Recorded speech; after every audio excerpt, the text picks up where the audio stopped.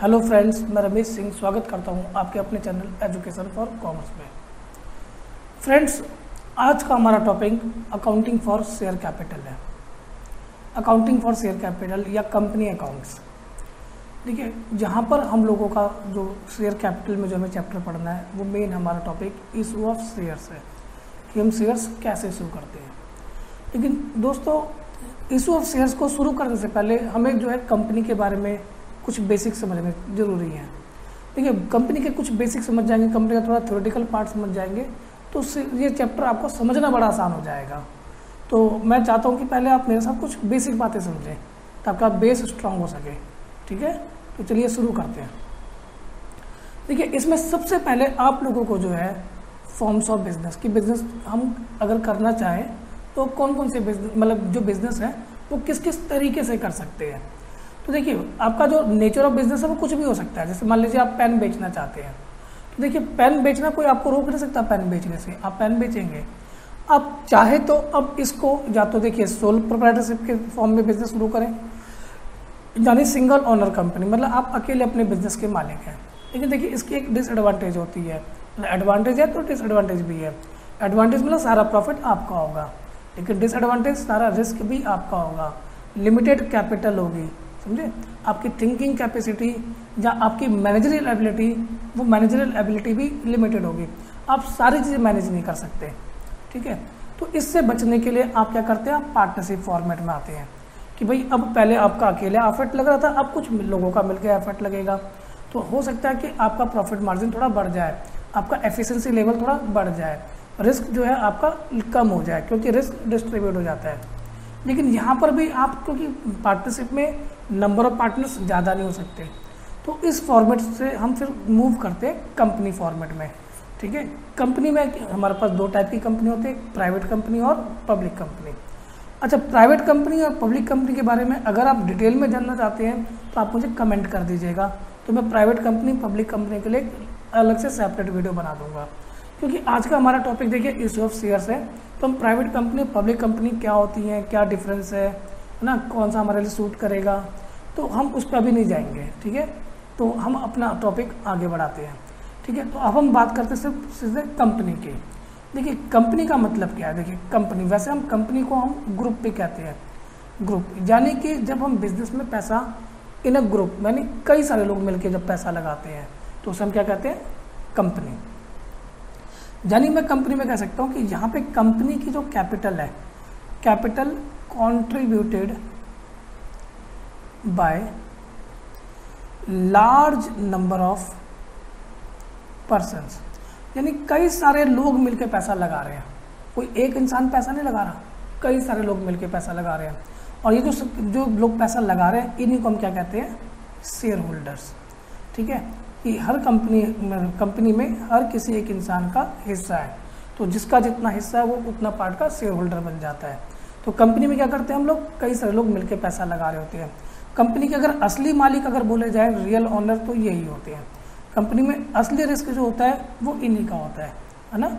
Main risk तो यही लोग रहे क्योंकि कंपनी में इन्होंने इन्वेस्टमेंट करी है। लेकिन यहाँ पे एक प्रॉब्लम है। प्रॉब्लम क्या? कि ये जो इन्वेस्टर्स है या जो कंपनी के जो ऑनर है, वो डिस्ट्रीब्यूटेड है। और बहुत सारे हैं। तो कंपनी को मैनेज कैसे किया जाए? तो कंपनी को मैनेज करने के लिए ये क्या करते हैं, जो शेयर होल्डर्स है, वो अपने बोर्ड ऑफ़ डायरेक्टर्स अपॉइंट कर देते हैं। तो बोर्ड ऑफ़ डायरेक्टर्स जो है, वो शेयर होल्डर्स के बिहाफ पर कंपनी को रन करते हैं। यानी ये कह सकते हैं कि जो बोर्ड ऑफ़ डायरेक्टर्स जो है, वो कंपनी के लिए एक तरीके से ट्रस्टी बन जाते हैं। ट्रस्टी मतलब कि ये ट्रस्ट का रिलेशन है कि बोर्ड ऑफ़ डायरेक्टर्स जो भी डिसीज़न लेंगे, वो कंपनी के हित के लिए लेंगे। कंपनी के प्रॉफिट के लिए लेंगे। कंपनी के कभी अगेंस्ट नहीं जाएँगे। और ये बोर्ड ऑफ़ डायरेक्टर्स की जो जवाबदेही होती है, वो शेयर होल्डर्स के अगेंस्ट होती है। क्योंकि रियल मालिक जो है, वो कंपनी के कौन है? शेयर होल्डर्स चलिए, अब इससे आगे बढ़ते हैं हम लोग। ठीक है? अब देखिए, कंपनी की सबसे पहले डेफिनेशन देखनी ज़रूरी है कि भाई कंपनी की डेफिनेशन क्या है। ठीक है? तो कंपनी की जो डेफिनेशन जो हमारे एक्ट में लिखी है, कंपनी एक्ट 2013 में, वो क्या लिखा है? Company means a company incorporated और रजिस्टर्ड, कि या तो वो इनकॉर्पोरेटेड या रजिस्टर्ड, वैसे दोनों का मतलब सेम होता है, जो कंपनी एक्ट 2013 में रजिस्टर्ड हो, या फिर या फिर under any other earlier company act any other company act असल में 2013 से पहले हमारे देश में कंपनी एक्ट 1956 चलता था। तो जो भी कंपनी, या तो कंपनी एक्ट 2013 में रजिस्टर्ड हुई हो, या इससे पहले वाले किसी एक्ट में, यानी कि उन्नीस सौ छप्पन वाले एक्ट में। तो ऐसी सारी कंपनियों को हम इंडियन कंपनी या कंपनी कहते हैं। ठीक है? अच्छा आगे बढ़ते हैं। अब देखिए, कंपनी में जैसे मैंने बताया था, कंपनी में जो जो पैसा जो लगाते हैं लोग, ठीक है? कि भाई, कंपनी में जो कैपिटल है contributed by large number of person कई सारे लोग मिलकर पैसा लगा रहे हैं ना? तो ये जो जो कुछ कई सारे लोग जो पैसा लगा रहे हैं असल में, इन्हीं को हम क्या कहते हैं? शेयर होल्डर्स और इन सबका कंपनी में हिस्सा होता है, जिसे हम क्या कहते हैं? शेयर्स अगर शेयर्स की वजह से अगर डेफिनेशन अगर बोली जाए तो डेफिनेशन क्या बनेगी? तो इट इज़ अ यूनिट ये एक ऐसी यूनिट है जिसमें हम बिज़नेस की, जो कंपनी की, जो टोटल कैपिटल है, वो डिवाइड करते हैं. लेट से मैं कहता हूँ कि भाई कंपनी की जो टोटल कैपिटल है, वो दस लाख रुपये है. ठीक है? कंपनी की टोटल कैपिटल कितनी है? दस लाख रुपए. तो मैं क्या करता हूँ, इस टोटल कैपिटल को छोटे छोटे पार्ट में डिवाइड कर देता हूँ। उस छोटे छोटे पार्ट उस यूनिट को हमने शेयर्स का नाम दिया। जैसे मैं कह देता हूँ रुपीज़ टेन ईच क्या? दस रुपये ईच यानी एक शेयर जो है, अगर कंपनी का अगर आपको चाहिए तो वो दस रुपये का है। ठीक है? अब टोटल दस लाख रुपए की कैपिटल को हमने दस दस रुपये के छोटे छोटे टुकड़ों में बांट दिया। तो अगर कोई आपसे पूछे, भाई नंबर ऑफ़ शेयर्स कि भाई हमारी कंपनी में शेयर्स है कितने? तो हमने क्या करा, हमने इस टोटल कैपिटल को डिवाइड कर दिया छोटे छोटे पार्ट्स में, है ना? तो जो दस रुपये जो शेयर्स की फेस वैल्यू बोलते से जो दस रुपये से हम क्या कहते हैं? शेयर्स की फेस वैल्यू फेस वैल्यू भी कह सकते हैं और इसका एक नाम और भी है नॉमिनल वैल्यू ठीक है? तो जो भी कंपनी की शेयर्स की फेस वैल्यू है या नॉमिनल वैल्यू है, आप उससे डिवाइड कर दीजिए टोटल कैपिटल को। ठीक है? तो इससे क्या होगा? इससे हमारी कंपनी के नंबर ऑफ़ शेयर्स आ जाएँगे। यानी दस लाख रुपए डिवाइडेड बाय दस। एक लाख शेयर्स। अब कंपनी के जो शेयर्स है वो एक लाख शेयर्स हैं, ठीक है? तो हमने क्या करा? हमने कंपनी की टोटल कैपिटल को डिवाइड कर दिया इन शेयर्स, ठीक है? और एक शेयर्स की जो वैल्यू होती है, उसे हम क्या कहते हैं? फेस वैल्यू और जो लोग इन शेयर होल्डर शेयर्स को होल्ड करते हैं, उनको हम क्या कहते हैं? शेयर होल्डर्स ठीक है? तो यानी शेयर्स को हम और कैसे डिफाइन कर सकते हैं? It is a fractional part of share capital यानी उसका हिस्सा शेयर्स ठीक है? फ्रैक्शनल पार्ट कितने फ्रैक्शंस हैं उसके, ठीक है? तो fractional part of shares is called shares ठीक है, आगे बढ़ते हैं अब हम लोग। अब देखिए, कितने टाइप्स के शेयर्स होते हैं, ठीक है? तो हमने क्या करा? हमने जो है दो टाइप के शेयर्स बनाए हैं यहाँ पर इक्विटी शेयर्स और प्रेफरेंस शेयर्स अच्छा इक्विटी शेयर्स को ना ऑर्डनरी शेयर्स के नाम से भी जाना जाता है। यानी अगर कभी आप ऑर्डनरी करके पढ़े तो कन्फ्यूज़ मत होइएगा, वो इक्विटी शेयर्स ही होते हैं। अच्छा अब होते क्या है? इक्विटी शेयर्स क्या होते हैं? प्रेफरेंस शेयर्स क्या होते हैं? तो देखिए इक्विटी शेयर्स जो है, आप कह सकते हैं कंपनी के रियल ऑनर होते हैं, ठीक है? कि भाई कंपनी के असली मालिक तो इक्विटी शेयर्स ही होते हैं, ध्यान रखिएगा, ठीक है? हाँ अगर हम इसकी टेक्निकल डेफिनेशन की अगर बात करें तो क्या है इसकी डेफिनेशन तो सेक्शन 43 में इसकी डेफिनेशन दी गई है, जो कंपनी एक्ट 2013 है ना? तो कंपनी एक्ट 2013 में इसकी डेफिनेशन दी गई है सेक्शन 43 के अंदर। और वो डेफिनेशन दी गई है equity shares are shares other than preference shares other than preference shares देखो, क्या खतरनाक डेफिनेशन दे रखी है, क्या बोला? Equity shares are shares other than preference shares मतलब वो शेयर्स जो प्रेफरेंस शेयर्स नहीं होते, उनको हम इक्विटी शेयर्स कहते हैं। और ये डेफिनेशन कहाँ लिखी है? सेक्शन 43 ऑफ़ कंपनी एक्ट 2013 में। कि जो प्रेफरेंस शेयर्स नहीं होते वो इक्विटी शेयर्स होते हैं। अब सवाल ये उठता है कि प्रेफरेंस शेयर्स क्या होते हैं? तो प्रेफरेंस शेयर्स की भी डेफिनेशन सेक्शन 43 में दी गई है। उसमें क्या लिखा है? अब जैसे नाम देखिए इसका प्रेफरेंस नाम से इसकी डेफिनेशन क्लियर है प्रेफरेंस यानी प्राथमिकता इनको प्रायोरिटी मिलती है। तो यहाँ पे कह सकते हैं preference shares have preference over equity shares have preference over equity shares कि प्रेफरेंस शेयर्स को इक्विटी शेयर्स के अगेंस्ट प्रेफरेंस मिलती है। अच्छा किन चीज़ों में प्रेफरेंस मिलती है? तो दो चीज़ों में प्रेफरेंस मिलती है, ठीक है? वो दो चीज़ें कौन कौन सी है? Number one payment of dividend जाने की जब कभी प्रॉफिट बटेगा डिविडेंड मतलब प्रॉफिट प्रॉफिट में हिस्सा, ठीक है? शेयर इन प्रॉफिट कि जब प्रॉफिट में जब हिस्सा मिलेगा तो सबसे पहले प्रॉफिट में किसको हिस्सा दिया जाएगा? तो जी, सबसे पहले प्रॉफिट में प्रेफरेंस शेयर्स को हिस्सा दिया जाएगा। ठीक है? यानी जब प्रॉफिट बटेगा तो पहले किसको प्रॉफिट में हिस्सा मिलेगा? प्रेफरेंस शेयर्स को। अच्छा अगर उनको देने का प्रॉफिट खत्म हो गया तो तो क्या इक्विटी शेयर्स को मिलेगा? नहीं, फिर इक्विटी शेयर्स को कुछ नहीं मिलेगा। इसलिए इसको प्रेफरेंस बोला जाता है कि पहले भाई इनका पेट भरा जाएगा, इनको प्रॉफिट में हिस्सा दिया जाएगा। उसके बाद अगर कुछ बचता है तो इक्विटी शेयर्स को प्रॉफिट मिलेगा, अदरवाइज़ इक्विटी शेयर्स को प्रॉफिट नहीं मिलेगा। इसलिए इसका नाम प्रेफरेंस है।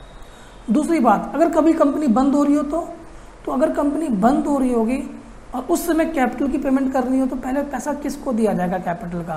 प्रेफरेंस को या इक्विटी को? तो यहाँ पर भी प्रेफरेंस शेयर्स को प्रेफरेंस मिलती है कि कि पेमेंट ऑफ़ कैपिटल ठीक है payment of capital at the time of winding up यानी कंपनी कभी अगर बंद हो रही होगी तो सबसे पहले सबसे पहले प्रेफरेंसेस की कैपिटल का पैसा दिया जाएगा प्रेफरेंसेस का पैसा दिया जाएगा। उसके बाद अगर पैसा बचता है तो इक्विटीज को पेमेंट की जाएगी, नहीं तो इक्विटी शेयर्स को पेमेंट नहीं की जाएगी। या कहो, जितना पैसा बचेगा, वो सारा पैसा इक्विटी शेयर्स का। यानी अगर थोड़ा सा बचा, वो भी उनका। और बहुत सारा अगर पैसा बचा तो भी इक्विटी शेयर्स का। तो ये, जो है टेक्निकल डेफिनेशन हमारे इक्विटी शेयर्स की और प्रेफरेंसेस की। देखिए, हम थोड़ा थोड़ा पार्ट थ्योरी का कर रहे हैं, ये आपके लिए ज़रूरी है ये समझना सारा। ठीक है, फिर हम इसके अब, अभी कुछ क्वेश्चंस भी करेंगे। ठीक है? अच्छा आगे बढ़ते हैं। अब देखिए, अब हमारा मेन टॉपिक इस चैप्टर का स्टार्ट हो रहा है इशू ऑफ़ शेयर्स अब देखिए इशू ऑफ़ शेयर्स यानी यहाँ पर कंपनी अपने शेयर्स दे रही है, ठीक है? तो किस किस तरीके से शेयर्स इशू कर सकती है? तो जी, तीन ऑप्शन होते हैं शेयर्स इशू करने के। एक को बोलते हैं प्राइवेट प्लेसमेंट ऑफ़ शेयर्स दूसरे को एम्प्लॉय स्टॉक ऑप्शन प्लान और तीसरा issue of shares to the public ये शेयर्स जो हम पब्लिक को देते हैं। मेनली इस चैप्टर में हमें यही टॉपिक डील करना है। लेकिन हाँ हमको थोड़ी बेसिक नॉलेज भी चाहिए, ठीक है? ताकि हमें पता चल सके कि भी शेयर्स किस किस को कैसे कैसे इशू कर सकते हैं। तो जी, सबसे पहला होता है प्राइवेट प्लेसमेंट ऑफ़ शेयर्स तो यहाँ पर कंपनी क्या करती है? जैसे मान लीजिए एक तरफ़ कंपनी है कंपनी क्या करती है? एक, कह सकते हो प्राइवेट एक ग्रुप को, ठीक है? प्राइवेट ग्रुप को यानी कि कुछ लोग होंगे कंपनी उनको प्राइवेटली शेयर्स इशू कर रही है। ठीक है, किसी और को नहीं, सिर्फ़ स्पेसिफिक इस एक ग्रुप को शेयर इशू कर रही है। तो अगर कंपनी ऐसा करती है तो इसे हम क्या कहते हैं? प्राइवेट प्लेसमेंट ऑफ़ शेयर्स ठीक है? अच्छा एम्प्लॉय स्टॉक ऑप्शन प्लान यहाँ पे कंपनी क्या कर रही है? अगर ध्यान से देखेंगे तो एम्प्लॉय स्टॉक ऑप्शन यानी कंपनी अपने एम्प्लॉयज़ को, जो कंपनी के अपने एम्प्लॉयज़ हैं, उनको शेयर्स दे रही है। किसको? अपने एम्प्लॉयज़ को। और यहाँ पर भी अगर ध्यान से देखेंगे तो लिखा है एम्प्लॉय स्टॉक ऑप्शन यानी यहाँ पे एम्प्लॉयज़ को ऑप्शन दिया जा रहा है। कंपल्सन नहीं है ऑप्शन है, ठीक है? कि यहाँ पे एम्प्लॉयज़ की अपनी मर्ज़ी है कि वो कंपनी के शेयर्स परचेज करे या फिर ना करे, ठीक है? तो हम अपने एम्प्लॉयज़ को ऑप्शन दे रहे हैं। कंपल्सन नहीं ऑप्शन हाँ और वो भी ऑप्शन क्या है? कंपनी जो है लेस देन मार्केट प्राइस मतलब मार्केट में जो भी प्राइस चल रहा होगा, उससे भी कम रेट पर शेयर्स इशू करने का ऑप्शन दे दिए। जैसे मान लीजिए अगर मार्केट में सौ रुपये का शेयर चल रहा है तो कंपनी हो सकता है कि ये सत्तर रुपये का ऑप्शन दे दें। ऐसा क्यों करती कंपनी अगर इसके बारे में अगर आप जानना चाहते हो तो कमेंट ज़रूर करिएगा। तो मैं आपको एम्प्लॉय स्टॉक ऑप्शन प्लान के एक डिटेल्ड वीडियो अलग से बना के दूँगा। लेकिन अगर आप कमेंट करेंगे, तभी। नहीं तो अभी आपके ट्वेल्थ लेवल के लिए इतना जानना, समझना बहुत मतलब काफ़ी है कि यहाँ पे हम अपने एम्प्लॉयज़ को ऑप्शन देते हैं कि मार्केट प्राइस से कम रेट पर आप शेयर्स परचेज कर सकते हैं, ठीक है? और ये एम्प्लॉयज़ के लिए सिर्फ़ ऑप्शन है कंपल्सन नहीं है। यानी एम्प्लॉयज़ चाहें तो इस कम रेट में शेयर्स खरीदें, ना तो ना खरीदें, कोई प्रॉब्लम वाली बात नहीं है। और मेन अब हमारा टॉपिक होता है issue of shares to the public तो यहाँ पर कंपनी क्या कर रही है? यहाँ पे कंपनी पब्लिक को, ठीक है शेयर्स इशू कर रही है। अब कैसे शेयर्स देती है? क्या क्या जल एंट्री होंगी? कैसे कैसे सवाल बनेंगे? अब हम इसके आगे बढ़ते हैं, शुरू करते हैं। तो देखिए, अब हमारा मेन टॉपिक है issue of shares to the public ठीक है? कि पब्लिक को हम शेयर्स इशू कर रहे हैं। अब जब पब्लिक को शेयर्स इशू करते हैं तो हमारे पास देखो दो ऑप्शन होते हैं। एक होता है issue of shares for cash और दूसरा होता है issue of shares for other than cash क्या मतलब है? Issue of shares for cash और फॉर अदर देन कैश तो देखिए, इसमें होता क्या है? जैसे याद मान लीजिए, एक तरफ़ है कंपनी और एक तरफ़ है पब्लिक ठीक है? तो issue of shares for cash में क्या होता है कि जो पब्लिक है, उसने कंपनी को पैसा दिया और कंपनी ने बदले में शेयर्स दिए, ठीक है? तो देखिए, पैसा जो है पब्लिक से कंपनी के पास आ गया और कंपनी ने क्या करा? अपने शेयर्स दे दिए। तो ये जो प्रोसेस जो हुआ इसी को बोला जाता है इशू ऑफ़ शेयर्स और ये issue of shares for cash मतलब पैसों के बदले, ठीक है? और अगर मान लीजिए मान लीजिए एक तरफ़ कंपनी एक तरफ़ ये पब्लिक है, अब ये अदर देन कैश की बात हो रही है कि मान लीजिए कंपनी ने पब्लिक में से किसी से कोई एक असेट खरीदा, ठीक है? मान लो कोई मशीन खरीदी बिल्डिंग खरीदी या कोई फर्नीचर खरीदा, ठीक है?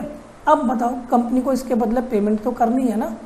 तो कंपनी पेमेंट क्या करेगी, कैसे करेगी, है ना? तो देखो, एक तो सिंपल सा तरीका होता है, पैसा दो, बात खत्म। लेकिन यहाँ पर कंपनी क्या करती है कंपनी अपनी कंपनी के शेयर्स दे देती है। क्योंकि देखो पेमेंट तो कर रही है तो कंपनी ने उस असेट के बदले शेयर्स दे दिए। ये जो शेयर्स दे दी कंपनी ने, इसी को बोला जाता है issue of shares for other than cash यानी हमने कैश नहीं दिया, ध्यान रखना। हमने क्या करा, हमने पेमेंट के लिए अपनी कंपनी के शेयर्स दे दिए। तो ये दो टॉपिक हमें इस चैप्टर के अंदर पढ़ने हैं issue of shares for cash और issue of shares for other than cash देखिए, आगे बढ़ते हैं। अब issue of shares for cash की जब बात करते हैं, ठीक है? तो जैसे मैंने अभी थोड़ी देर पहले बताया था, हर कंपनी की शेयर्स की एक वैल्यू होती है, जिसे हम कहते हैं फेस वैल्यू ठीक है? तो अब यहाँ पे देखिए, हमारी कंपनी की शेयर्स की फेस वैल्यू मान लेते हैं दस रुपये तो issue of share for cash में अब क्या है कि भाई देखिए, जो यहाँ पे हम कंपनी है और इस तरफ़ पब्लिक है तो पब्लिक को ये दस रुपये इधर दे रही है और बदले में शेयर्स इधर से इधर आना है ना? अच्छा अब ये दस रुपये कंपनी चाहे तो पब्लिक से दस रुपये एक ही बार में ले ले, या फिर ये दस रुपये थोड़ा थोड़ा करके ले। अगर दस रुपये एक ही बार में कंपनी ले लेती है तो उसे बोलते हैं इस ऑफ़ शेयर्स जो है लमसम पेमेंट, ठीक है? कैश में लमसम पेमेंट। मतलब दस के दस रुपये कंपनी एक ही बार में डिमांड करेगी और दस रुपये एक ही बार में ले लेंगे। इसे कहते हैं लमसम पेमेंट तो इसो फॉर कैश में या तो एक होता है लमसम पेमेंट और दूसरा होता है इंस्टॉलमेंट पेमेंट मतलब थोड़ा थोड़ा करके। थोड़ा थोड़ा करके मतलब कि कंपनी दस रुपये एक बार में नहीं लेगी। जैसे कंपनी कहती है, भाई, पहले दो रुपये दे दो, फिर दो रुपये दे दो, फिर तीन रुपये दे दो, फिर तीन रुपये मतलब डिवाइड कर देगी दस रुपये को। कंपनी की मर्ज़ी होती है कि कंपनी किस तरीके से पैसा ले रही है। लमसम ले रही है या इंस्टॉलमेंट ले रही है। तो इस ऑफ़ सेल्स फॉर कैश में भी हमें फर्दर दो टॉपिक पढ़ने हैं। अगर लमसम पेमेंट मिलती है, एक ही बार में पेमेंट मिलती है तो कैसे होगा? और थोड़ा थोड़ा करके पैसे मिलते हैं तो कैसे होगा? और मैं अभी आपको इसी वीडियो में ये दोनों टाइप के क्वेश्चन करा के दिखाऊँगा, ठीक है? अभी थोड़ा सा तो और हल्का सा बेस बना लेते हैं, फिर हम क्वेश्चंस की तरफ़ मूव करते हैं। अच्छा अदर देन कैश में क्या होता है?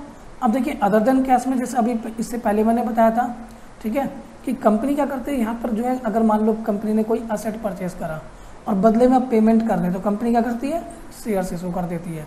तो इसी को हमने नाम दिया अदर देन कैश अब इसमें क्या, इसमें दो टॉपिक होते हैं। दो टॉपिक मतलब कि जैसे मान लीजिए कंपनी ने किसी से असेट परचेज करी, ठीक है? असेट परचेज तो अब अगर असेट परचेज करी तो कंपनी को बदले में क्या करना पड़ेगा? कंपनी को बदले में अब पेमेंट करनी पड़ेगी। और पेमेंट अगर कंपनी शेयर्स इशू करके करती है तो उसको क्या कहते हैं? Issue of shares for other than cash यानी इधर असेट आया, उधर शेयर्स गए। ठीक है? दूसरा होता है बिज़नेस परचेज बिज़नेस परचेज मतलब कई बार क्या करती है कंपनी किसी बिज़नेस को ही खरीद लेती है। पूरे के पूरे बिज़नेस को एक्वायर कर लेती है। ठीक है? और अब बदले में आपको पेमेंट करनी है। पेमेंट करनी तो पेमेंट कैसे करेंगे? तो कंपनी के पास एक ऑप्शन होता है कि कंपनी अपनी कंपनी के शेयर्स दे सकती है।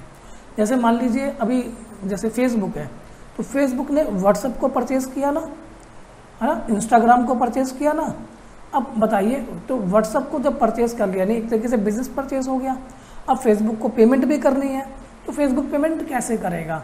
तो जाए तो कैश दे दे चेक के थ्रू पेमेंट कर दे, या फिर एक ऑप्शन और भी है कि फेसबुक क्या करेगा? फेसबुक के शेयर्स व्हाट्सएप वालों को दे देगा।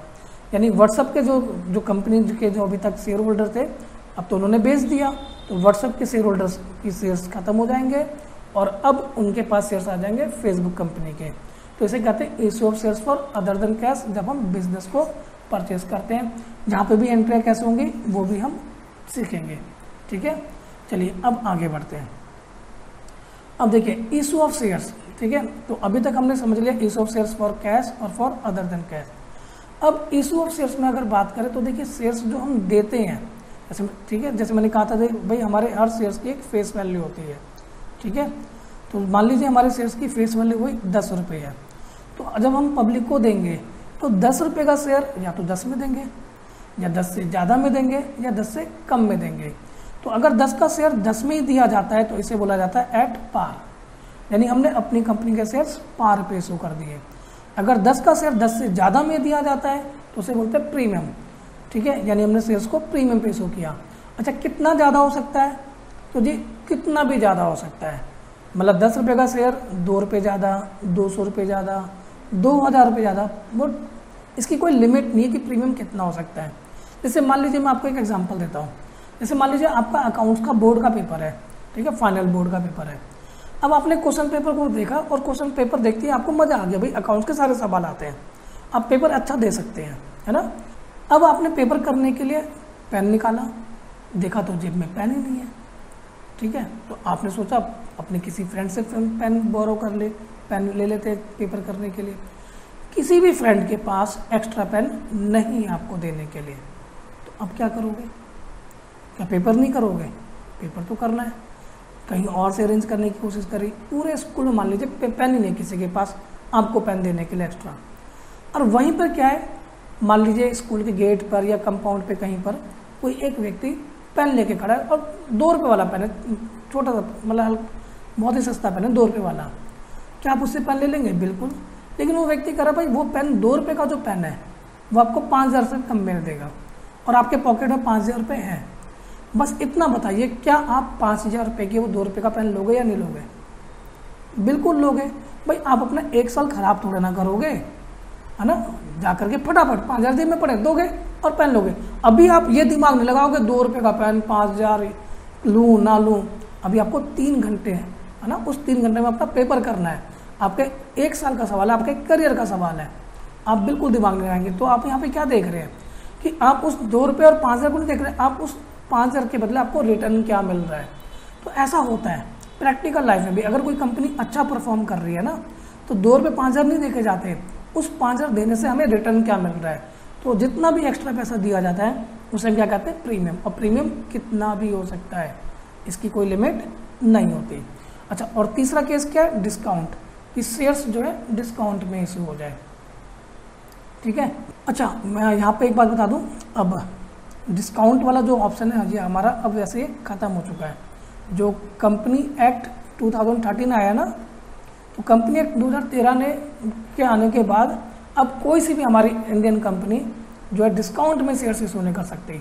यानी अगर वो शेयर्स इशू करेगी तो पार पे या फिर प्रीमियम पे।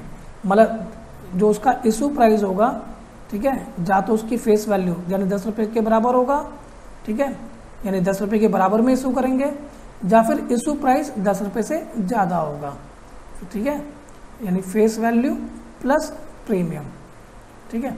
लेकिन क्या उससे कम हो सकता है इशू प्राइस तो जी 2013 से पहले तो हो सकता था, पर अब नहीं हो सकता। मतलब अब डिस्काउंट में शेयर्स इशू नहीं हो सकते, ठीक है?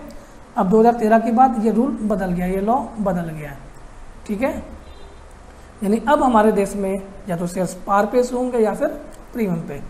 तो जहाँ पर ध्यान रखिएगा कि जब हम शेयर्स पार पे इशू करते हैं तो हमारा इशू प्राइस फेस वैल्यू के बराबर होता है। प्रीमियम पर जब इशू करते हैं तो हमारा जो इशू प्राइस होता है, वो फेस वैल्यू से ज़्यादा होता है। डिस्काउंट में जब होता था तो इशू प्राइस फेस वैल्यू से कम होता था, लेकिन अब डिस्काउंट में शेयर्स इशू नहीं होते। ठीक है? अब देखिए, कुछ सवाल, ठीक है, जिससे आपका थोड़ा बेस बन जाए।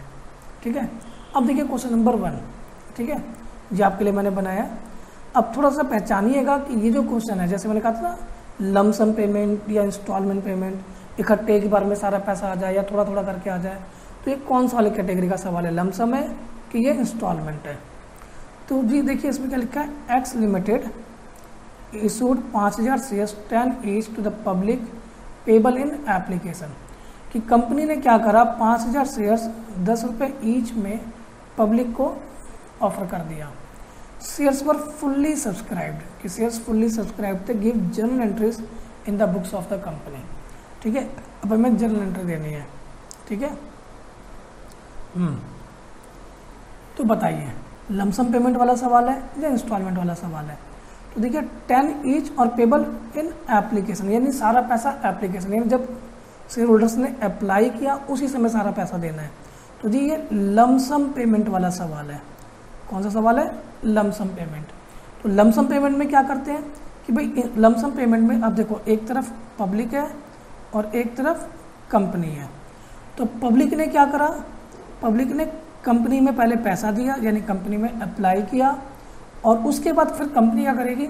इस एप्लीकेशन को एक्सेप्ट करेगी, जो लिखा है शेयर्स वर फुल्ली सब्सक्राइब्ड ठीक है? तो यानी कंपनी ने वो एप्लीकेशन एक्सेप्ट कर ली और फिर शेयर्स दे दिए। ठीक है? यानी पहले पैसा मिलता है कंपनी को और फिर कंपनी शेयर्स देती है।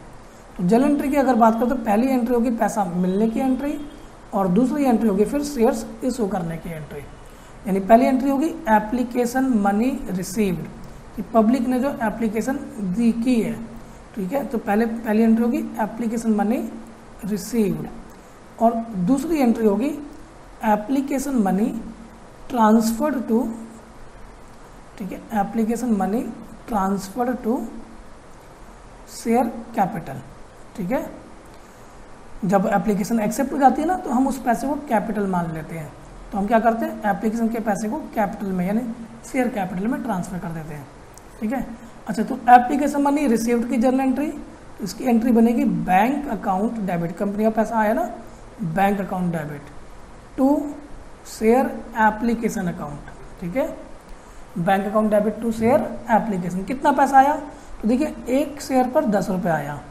टोटल कितने शेयर्स हैं? टोटल थी पाँच हज़ार शेयर्स हैं। तो पाँच हज़ार शेयर्स पर कितना पैसा आया होगा? तो दस हज़ार इंटू पाँच हज़ार। तो दस इंटू पाँच हज़ार ये हो जाएगा पचास हज़ार रुपये ठीक है? ध्यान रखना, यहाँ पर अभी सिर्फ़ एप्लीकेशन मनी मिली है। ठीक है? और जब ये शेयर्स की एप्लीकेशन एक्सेप्ट हो जाती है तो कंपनी क्या करती है? इस पैसे को शेयर कैपिटल में ट्रांसफ़र कर देती है। ट्रांसफ़र करने की एंट्री होती है share application account debit to share capital account, ठीक है? तो ये पचास हज़ार रुपये जो है एप्लीकेशन के कैपिटल में ट्रांसफ़र हो जाएँगे, ठीक है? बड़ी सिंपल सी एंट्री होती है। अच्छा यहाँ पर ध्यान रखना, एक तो लमसम वाला ये सवाल था, और दूसरा जहाँ पे हमने शेयर्स को पार पे इशू किया, ठीक है? क्योंकि पार पे भी इशू हो सकता है, दस का शेयर दस में, या फिर प्रीमियम पे भी इशू अगर यही सवाल मान लीजिए प्रीमियम पे अगर इशू हुआ होता तो क्या करते? कैसे करते?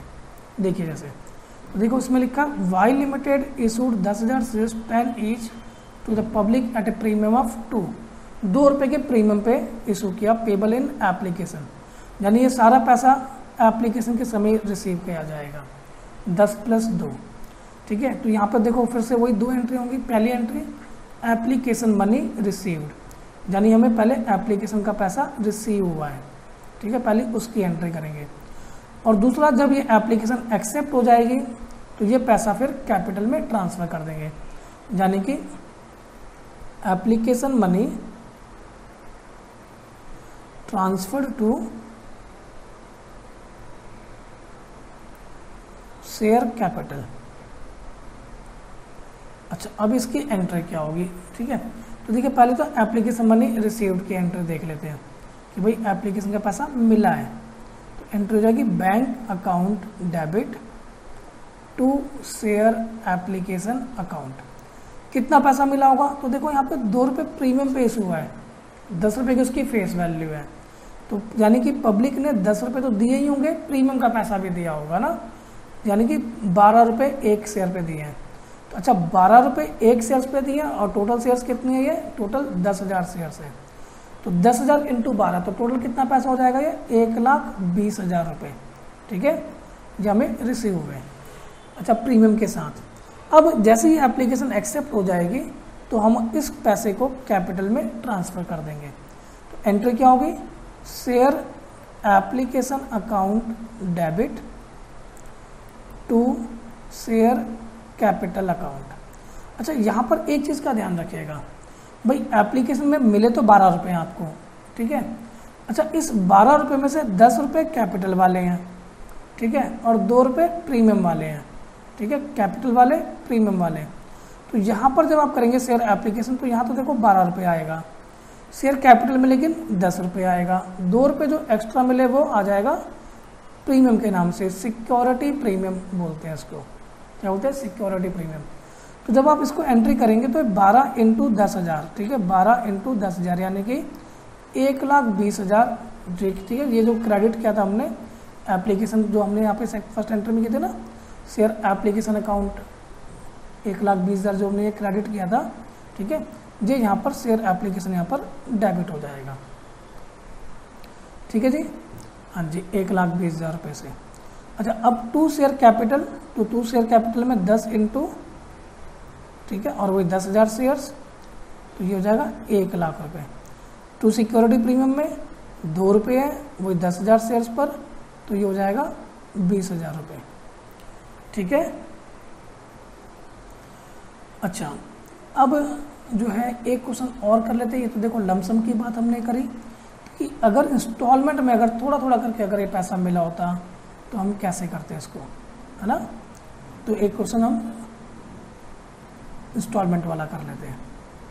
तो देखिए क्वेश्चन नंबर थर्ड अब इसमें लिखा है एक्स लिमिटेड इशूड चालीस हज़ार शेयर टेन एच पब्लिक को इशू किया हमने। और payable three on application three on allotment two on first call and balance on second and final call यानी इसका जो पेमेंट जब किया जाएगा तो एप्लीकेशन में अलॉटमेंट में फ़र्स्ट कॉल में और सेकेंड कॉल में। एप्लीकेशन में तीन रुपये अलॉटमेंट में तीन रुपये फ़र्स्ट कॉल में दो रुपये और सेकेंड कॉल में भी दो रुपये ठीक है? और टोटल नंबर ऑफ़ शेयर्स कितने हैं ये? चालीस हज़ार शेयर्स। यानी जब पब्लिक अप्लाई करेगी तो एप्लीकेशन में तीन रुपये देगी और जब शेयर्स अलॉट किए जाएँगे तो तीन रुपये और जब कॉल किया जाएगा तो फ़र्स्ट कॉल में दो रुपये और सेकेंड कॉल में दो रुपये अब देखो लिखा था company made the allotment to the applicant in full मतलब फुल एप्लीकेशन आएँगे। मतलब जितने शेयर्स थे ठीक है? वो हमने चालीस हज़ार शेयर जो एप्लीकेशन रिसीव करी, उनको चालीस हज़ार को चालीस हज़ार शेयर्स अलॉट कर दिए। ठीक है? All amount due on allotment and calls were duly received कि भाई जो पैसा मिला, वो पैसा हम जो है अलॉटमेंट का कॉल्स का, वो सारा पैसा हमें रिसीव हो गया।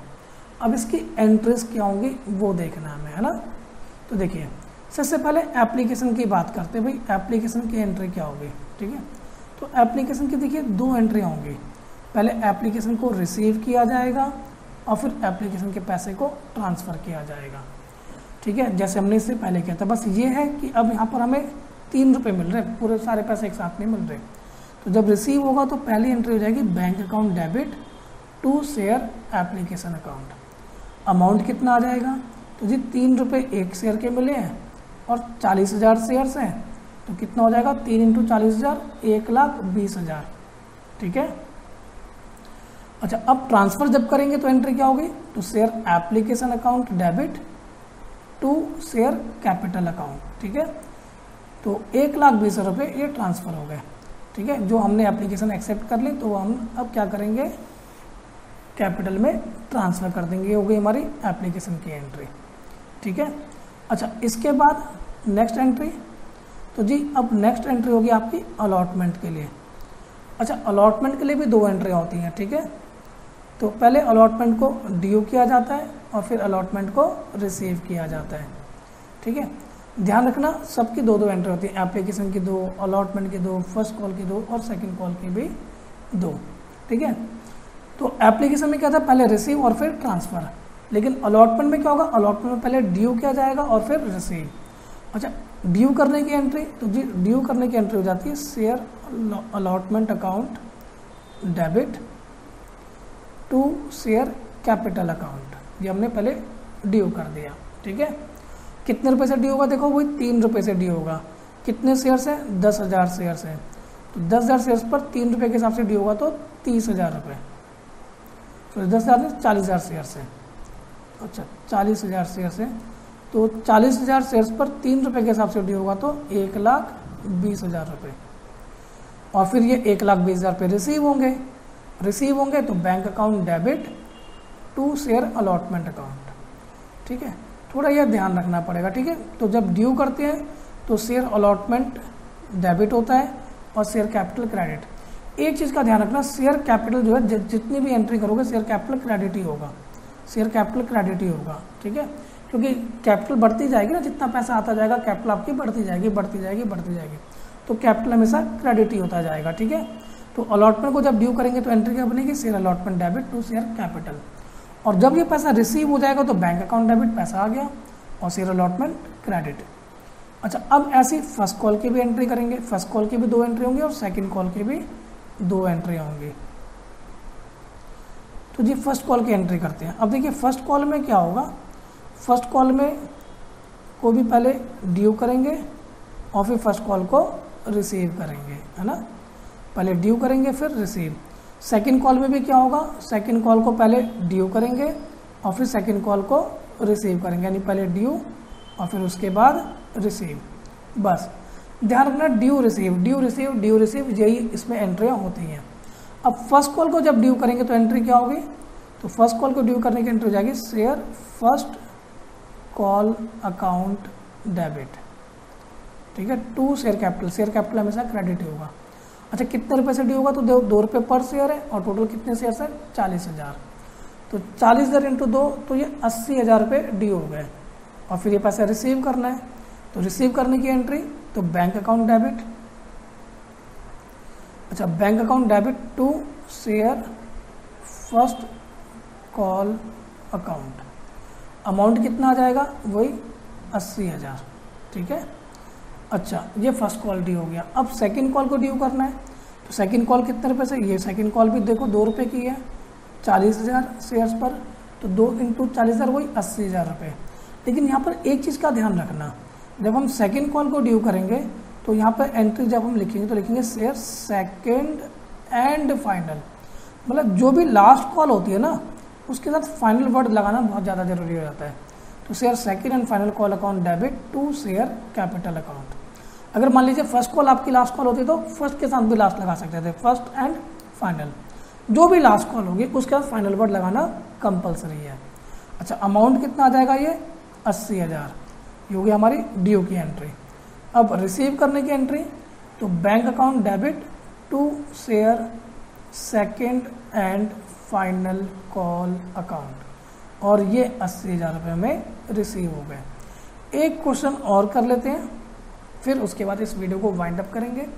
और इसके बाद ये था हमारा बेसिक अच्छे से सारे नोट्स कर लीजिएगा पॉइंट फिर मैं आपको कुछ और अच्छे अच्छे क्वेश्चंस कराऊँगा, ताकि ये चैप्टर आपको अच्छे से कवर हो जाए। तो चलिए शुरू करते हैं अगला क्वेश्चन हाँ जी क्वेश्चन नंबर फोर अब देखिए क्वेश्चन नंबर फोर में क्या लिखा? वाई लिमिटेड इशूड तीस हज़ार share ten each to the public at a premium of two अब यहाँ पे देखिए, दो रुपए के प्रीमियम पे इशू किया गया है शेयर्स को ना? तीस हज़ार शेयर दस रुपए का एक है, ठीक है? और पेमेंट क्या लिखिए? Payable four on application five on allotment including premium थोड़ा ध्यान दीजिएगा इंक्लूडिंग प्रीमियम यानी इस पाँच रुपये में प्रीमियम का पैसा जुड़ा हुआ है। तो इसमें क्या हो गया? एप्लीकेशन अलॉटमेंट और फिर लिखा balance on first and final अच्छा balance on first and final call तो बैलेंस कितना होगा? तो देखिए, पहले तो एप्लीकेशन के चार रुपये अलॉटमेंट में देखो, पाँच रुपये बोले गए हैं। लेकिन ये जो पाँच रुपये बोले गए, इसमें इंक्लूडिंग प्रीमियम भी है। मतलब इस पाँच में प्रीमियम का पैसा भी जुड़ा हुआ है। प्रीमियम कितने रुपए का? दो रुपये का। तो इसमें दो रुपये प्रीमियम के भी जुड़े हुए हैं। तो पाँच रुपये में अगर दो रुपये प्रीमियम के मिले तो तीन रुपये जो बचे, वो हमारे कैपिटल के मिले होंगे। यानी मैं इसको थ्री प्लस टू ऐसे कह सकता हूँ। कैपिटल का मतलब देखिए शेयर्स की जो फेस वैल्यू है, वो दस रुपये है। है ना? तो मेन हमें दस रुपये का शेयर्स था हमारे लिए। दो रुपये के प्रीमियम पे इशू हुआ। तो कैपिटल वाला जो पार्ट है वो तो देखो रियल में दस रुपये है। एक्स्ट्रा जो मिल रहा है वो प्रीमियम वाला पार्ट है। तो इस पाँच रुपये में दो रुपये प्रीमियम वाला पार्ट हो गया और तीन रुपये आपका कैपिटल वाला पार्ट हो गया। ठीक है? तो कैपिटल के लिए अगर देखें तो चार रुपये और तीन, सात रुपये बने अभी तक। ठीक है? चार रुपये और ये तीन रुपये सात रुपये अब जैसे इसमें लिखा balance on first and final call मतलब जो बैलेंस पैसा होगा वो फ़र्स्ट कॉल में मिल जाएगा। तो बैलेंस देखो कितना होगा। तो बैलेंस कितना होगा देखो, दस रुपये में से चार रुपये एप्लीकेशन में आ गए, तीन रुपये अलॉटमेंट में आ गए। तो ये बैलेंस पैसा कितना होगा, ठीक है? तो आपको दस रुपये के हिसाब से देखना तो तीन रुपये बाकी यहाँ दो रुपये दो रुपये तो जो आपको मिले वो प्रीमियम के मिले कैपिटल के नहीं। कैपिटल के हिसाब से देखोगे तो दस में से चार रुपये एप्लीकेशन में अलॉटमेंट में तीन रुपये तो बैलेंस फ़र्स्ट कॉल का तीन रुपये क्लियर है? चलिए आगे बढ़ते हैं। अगले का कंपनी मेड अलॉटमेंट और ये amount due on allotment duly received get journal entries तो इसमें देखो कितनी एंट्री होंगी, जैसे इससे पहले हमने देखा था, भाई एप्लीकेशन की दो एंट्रियाँ हुई थी, है ना? अलॉटमेंट की भी दो एंट्रियाँ और यहाँ पे फ़र्स्ट कॉल की भी दो एंट्रियाँ तो इसमें कुल मिला के छः एंट्रीज होंगी। तो चलिए करते फटाफट ये छः एंट्रियाँ तो देखिए, अब हमारी पहली एंट्री एप्लीकेशन की, जैसे देखिए हमारी दो एंट्री है ना? अच्छा एप्लीकेशन में कितने रुपए मिल रहे हैं हमें? तो एप्लीकेशन में हमें यहाँ पर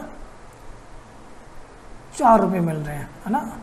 ठीक है? तो यहाँ पर मैं क्या करता हूँ, मैं इस डाटा को थोड़ा यहाँ लिख लेता हूँ। एप्लीकेशन में चार रुपये अच्छा अलॉटमेंट में पाँच रुपये इंक्लूडिंग प्रीमियम यानी कि थ्री प्लस टू और फ़र्स्ट कॉल में बैलेंस था, यानी कि तीन रुपये ठीक है? और टोटल नंबर ऑफ़ शेयर्स कितने थे ये? तीस हज़ार शेयर्स थे, ठीक है? तो तीस हज़ार शेयर्स के लिए हमारा ये क्वेश्चन किया जा रहा है। अब करते हैं इसकी जर्नल एंट्रीज ठीक है? तो पहली एंट्री हो जाएगी एप्लीकेशन के लिए। एप्लीकेशन की हमारी दो एंट्री होंगी। पहले रिसीव करने वाली bank account debit to share application account ठीक है? और दूसरी फिर इस पैसे को कैपिटल में ट्रांसफ़र करने वाली entry share application account debit to share capital account amount कितना आएगा? तो देखिए एप्लीकेशन के चार रुपये मिल रहे हैं। और कितने शेयर्स पर? तीस हज़ार शेयर्स पर। तो चार इंटू तीस हज़ार कितना हो जाएगा? एक लाख बीस हज़ार। तो जी, एक लाख बीस हज़ार ये हो गया। अच्छा अब ये एक लाख बीस हज़ार जो है, जैसी एप्लीकेशन एक्सेप्ट होती है, ये कैपिटल में ट्रांसफ़र हो जाते हैं। तो ये होगी हमारी एप्लीकेशन की एंट्री अच्छा अलॉटमेंट की एंट्री तो जी अलॉटमेंट की एंट्री अब यहाँ पे थोड़ा ध्यान रखिएगा कि इसमें प्रीमियम भी है है ना? तो इसमें क्या होता है, पहले हम ड्यू करते हैं और उसके बाद हम पैसा रिसीव करते हैं। तो जब ड्यू करेंगे तो एंट्री होगी share allotment account debit to share capital account to security premium account, ठीक है? क्योंकि तीन रुपये आपके कैपिटल के हैं और दो रुपये आपके प्रीमियम के हैं। तो अलॉटमेंट में कुल मिला के हो गए पाँच रुपये लेकिन ये तो एक शेयर की बात हुई। टोटल कितने शेयर्स हैं यहाँ पर? तीस हज़ार शेयर्स हैं। तो तीस हज़ार शेयर्स के हिसाब से अगर आप सोचेंगे तो तीस हज़ार इंटू पाँच करोगे तो हो जाएगा एक लाख पचास हज़ार। तीस हज़ार इंटू ये तीन करोगे तो ये हो जाएगा नब्बे हज़ार। तीस हज़ार इंटू दो करोगे तो ये हो जाएगा साठ हज़ार। ठीक है? क्लियर है बात? क्योंकि वो एक एक शेयर का पाँच तीन दो था। तीस हज़ार शेयर से जैसे ही मल्टीप्लाई करेंगे तो ये टोटल वैल्यू आ जाएगी। आपको एग्रीगेट में देखना ना कि कितना पैसा मिल रहा है। चलिए होप आपको समझ में आ गया। अब नेक्स्ट इसको रिसीव करने की एंट्री करते हैं। अच्छा रिसीव करेंगे तो एंट्री होगी bank account debit to share allotment अब आप यहाँ पे प्रीमियम रीम डेबिट क्रेडिट मत कर देना, कहीं गलती से वो भी डेबिट क्रेडिट करना भाई, अब आपको तो ये टोटल डेढ़ लाख रुपए ये मिलने हैं ना तो ये डेढ़ लाख रुपए मिल जाएँगे। कि भाई उसमें जो है आपके नब्बे हज़ार कैपिटल के हो गए और साठ हज़ार आपके प्रीमियम के हो गए। जो आपने ड्यू किया ड्यू किया आपने डेढ़ लाख। तो डेढ़ लाख रिसीव हो गई, बात खत्म। अब हमारी लास्ट एंट्री फ़र्स्ट कॉल की। और फ़र्स्ट कॉल की भी हमारी, देखो, दो एंट्री होंगी, है ना? हाँ जी, क्योंकि सबकी दो दो एंट्री होती है तो फ़र्स्ट कॉल की भी हमारी दो एंट्री होंगी। पहले ड्यू करना और फिर उसके बाद रिसीव करना। ठीक है? अच्छा फ़र्स्ट कॉल है, ये हमारी लास्ट फाइनल कॉल है। ठीक है तो इसके साथ हम क्या लिखेंगे? शेयर फ़र्स्ट एंड फाइनल जो भी लास्ट कॉल होती है, उसके साथ फाइनल वर्ड लिखना बहुत ज़्यादा ज़रूरी होता है। तो share first and final call account debit to share capital account amount कितना आएगा? जो पाँच रुपये पर शेयर है, तीस हज़ार शेयर्स पर तो ये डी अमाउंट हो जाएगा डेढ़ लाख रुपए। ठीक है? अच्छा पाँच रुपये पर शेयर नहीं, ये तो यहाँ पे ये तो तीन रुपये पर शेयर है। तो तीन रुपये पर शेयर के हिसाब से फिर डी अमाउंट कितना हो जाएगा? तीन रुपये पर शेयर के हिसाब से डी अमाउंट हो जाएगा हमारा नब्बे हज़ार, ना? चलिए जी, नब्बे हज़ार। ठीक है? थोड़ा ध्यान रखना होगा अभी ड्यू अमाउंट कितना है ना? मैंने गलती से पाँच देख लिया था। चलिए, अब रिसीव की एंट्री करेंगे तो रिसीव की एंट्री हो जाएगी bank account debit to share first and final call account ठीक है? और ये अमाउंट हो जाएगा नाइन्टी थाउज़ेंड। हाँ मेरे ख्याल से अब आपको काफ़ी कुछ कॉन्सेप्ट क्लियर हो गए हैं थोड़े बेसिक सवाल हमने किए। अब हम इससे अगले नेक्स्ट लेवल के क्वेश्चंस करेंगे, जिससे आपके कॉन्सेप्ट और अच्छे बन जाएँगे। ठीक है? तो मिलते हैं अगली वीडियो में। तब तक के लिए टाटा बाय बाय